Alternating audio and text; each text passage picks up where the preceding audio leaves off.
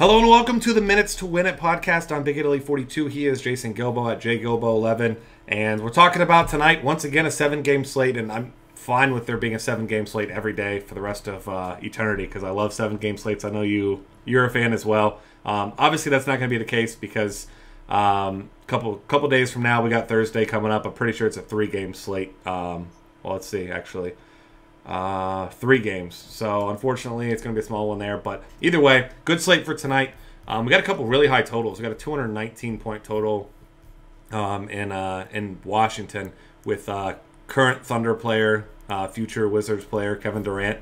Uh, at least what people are saying. But um, we're going to talk about some injury concerns in some minutes here. Starting off with uh, Isaiah Thomas, obviously going to see himself a nice bump. We've got uh, Marcus Smart is uh, officially out for tonight, so he's not going to play once again. And if you're looking at the game logs, it seems like Isaiah Thomas didn't take on a bigger workload last game because Smart's now missed two games. This will be the third. But that game was a blowout. I think it was a 30 point game at halftime. Yeah. So Thomas only played 26 minutes, but we should see him back up in the 35 to 36 range tonight. And uh, Milwaukee's not an ideal matchup, but you certainly like to pick on them with point guards because with Michael Carter Williams out as well, um, there's no size uh, disadvantage, I guess, for Thomas. Yeah, I mean, if Michael Carter Williams wasn't, I would be a little bit more hesitant just because, I mean, the guy's just lengthy and Thomas being five eight or whatever he is, um, it wouldn't be an ideal matchup. But um, yeah, I mean, look for him to be 35 minutes again tonight, and I mean, still priced as a pretty cheap point guard, I guess, um, in consideration to the others, but who has you know similar upside to guys like Lowry. Yeah, yeah, absolutely. And I mean that usage rate almost 33% this year, so he's he's going to be um, the focal point of that offense. And then we mentioned Michael Carter Williams. Um, he's he's going to be sitting out for tonight. We said so. We don't know how long he's going to be out, but either way, for tonight, it's going to be another one of those situations that you really don't like because um, there's not a lot of good players behind him. Obviously, that's why they're all backups. But Jerryd Bayless, one of the more inconsistent guys, played 47 minutes 30 fantasy points, 30 minutes 13, 28 13, 32 with 41. So he's a guy you consider. Throw him in your tournaments there. Um, should see some minutes. Greivis Vasquez will also see minutes, though. Maybe Tyler Ennis. But I think Bayless is probably my preferred play of those. But I don't really expect any of those three guys to play more than upper 20s, maybe 30 minutes. Yeah, I can't see anyone really logging a ton of minutes out of the three guys there. Um, and I'm, I'm with you on Bayless being probably a tournament play at best. Um, and kind of the other options I'm not really paying attention to, especially Vasquez after his last game of going over 10 from the field. Yeah. Uh, that's brutal. I mean, I doubt that'll happen again, but still, um, his upside's pretty limited. Yeah, yeah. So not a whole lot to see there. Um, next up, we got a few um, other guys. DeMarre Carroll is a guy who's um, going to have kind of a big effect on this game tonight because obviously he's listed as questionable. Um, it's going to matter here for Carmelo Anthony because he's either going to see DeMarre Carroll, who's a really tough defender, or probably James Johnson if not. So Carroll, questionable game time decision it looks like for here, but they said plantar fasciitis, so that's not usually something you're rushing back from. So um, if I had to speculate, I would assume he's not going to play. And I actually kind of think James Johnson will get at least the number of minutes. I think it was 26 that he played last game, maybe even more, because they're going to need him to defend Carmelo. Yeah, I mean, this is one of those injuries where it's probably going to be we're going to see this a lot, uh, him being questionable because it's just an injury that comes back. Um, you need time off to, to really heal it. So um, I doubt I doubt he plays tonight as well. And um, I mean, probably looking at James Johnson to log, you know, definitely 25 plus minutes. I mean, hopefully you can get into the 30s, but probably not an option we're looking at anyway.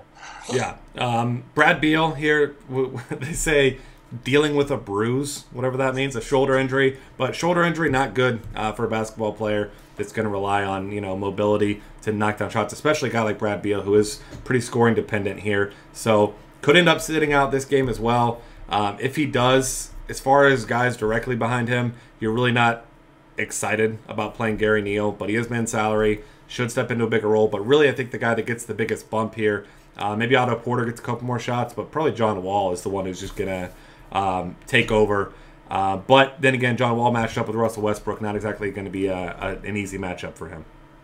Yeah, I mean, I'm looking this game, like you said, the highest point total, so there's going to be a ton of points on both sides. Um, if Beal does it, it's probably going to be Neal. Look for some Ramon Sessions as well um, out of backcourt, but still, two guys uh, I'm not really in love with. Yeah, um, another guy who's got injury concerns, J.R. Smith.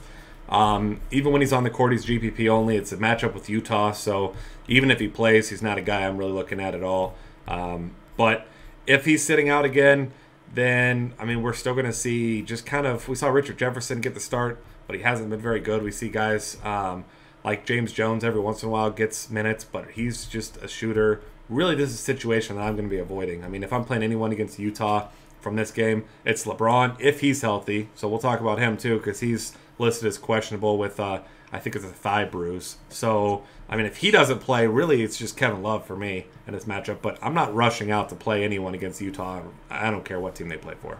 So you're not going to fire up your boy uh, Dellavedova? no, it, my boy is Kevin Love, and I'll, I'll, I'll play some Kevin Love either way. But Dellavedova, I mean, I swear I could beat him on at one one. I'm just saying.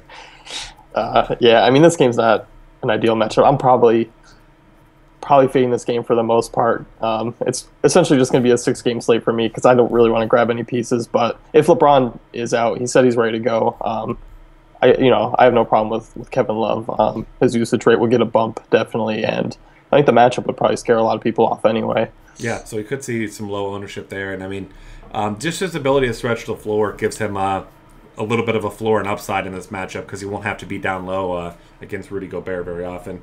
Um, another guy, Omer Asik, is listed as questionable. Probably a game time decision for tonight. Um, not a guy who has much value anyway. He's only played one game, played 10 minutes, but he's a good defensive presence for the few minutes that he will play down low.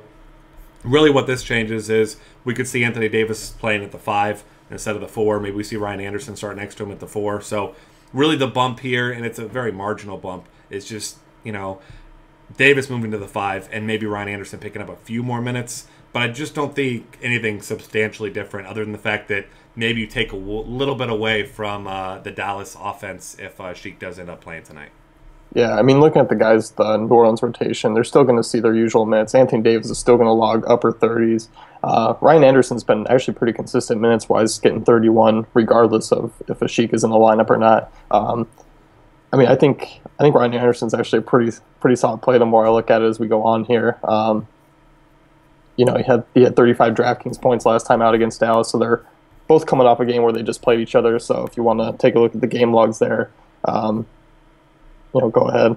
Yeah, I mean, he's been really consistent. I mean, 25 plus fantasy points. It looks like five straight. So he's a guy who's a shooter, but he's also been contributing some rebounds and peripherals. So you got to like that. Um, one more guy to talk about: Jrue Holiday sat out last game. Obviously, hasn't been cleared for back to backs yet. He'll be back tonight, but Still, don't expect huge minutes. I mean, somewhere in the 23 to 27 range, like we've seen him before.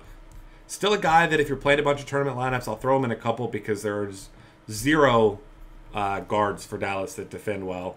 Um, none of these guys are good defenders. So Jrue Holiday, got to imagine that he'll be able to produce and have a high usage rate while he is on the court. Just don't expect him to see 30 minutes here.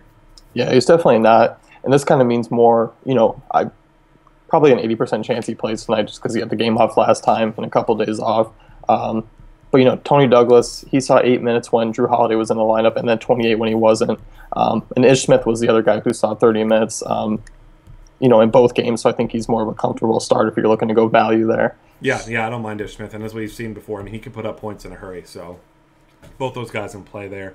Um, and I mean, I, I, think if you're playing a ton of tournament lineups, like I'll be doing, I don't mind throwing in a couple that have like uh, an Ish Smith and Jrue Holiday because it's a good matchup for both of them. Get all almost all the point guard points. I don't know. You can get creative tonight. I mean, seven games, but not a lot of value here. So you got to you got to pick your spots so that you can get yourself some uh, Kevin Durant narrative game uh, exposure. But uh, that's to wrap things up for the minutes to win it. Find us on Twitter at DF Cafe. Subscribe to our YouTube channel. We got lots of other great content at dailyfantasycafe.com.